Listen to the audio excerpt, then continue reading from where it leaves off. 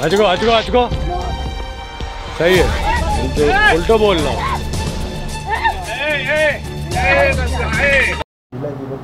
क्या मामला है? क्या पूरा अभी तक जाँच की जा रही है? देखिए चकरनगर क्षेत्र का मामला है। उसमें एक महिला की तहरीर आई थी। अभियोग पंजीकृत कर दिया गया है और उसमें छेड़छाड़ का भी आरोप लगाया है।